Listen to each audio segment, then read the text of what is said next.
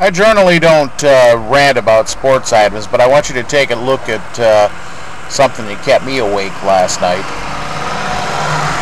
Ten runs down. They were up a run in the ninth, two outs. The wild pitch by Michael Wuertz. Michael Cuddyer looking to score from second, but he's gunned down. Take another look, though, as this was a raw deal. He was clearly safe, but this is how the game ends.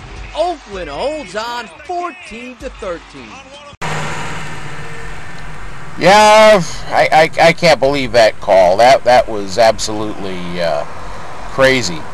Um, Cuddyer was uh, was clearly safe sliding into home. Uh, the umpire completely blew that call. Now, I will give you the argument that uh, the Twins, who were playing Oakland in that game, who were um, up by as many uh, by as much as uh, eight to two, and then I guess again twelve to five. I had slept through part of this game, and only was awake really for the tail end of it.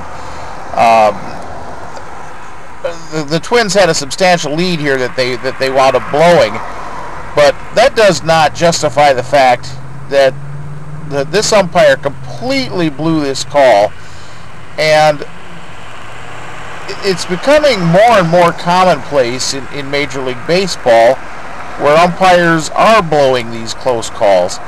And um, it's, it's one of the reasons why they've uh, instituted instant replay to uh, determine whether or not uh, a home run is, a, is legitimate or not.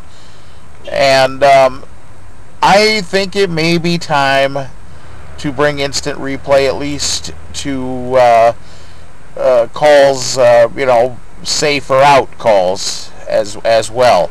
I don't think I ever you ever want to go to the to the uh, to the ball and strike uh, thing, but um, at, at what's at stake in, at, at ball games now?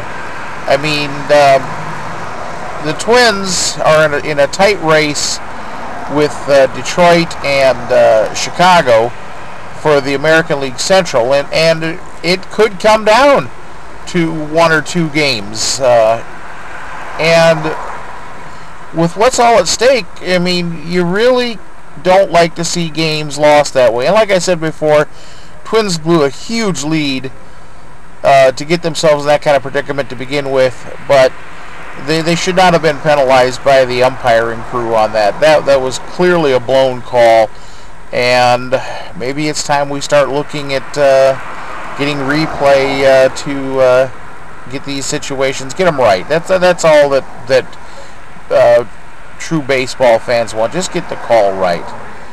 That's all I have for now. This is John Shannon, the Redneck Cabbie. Adios.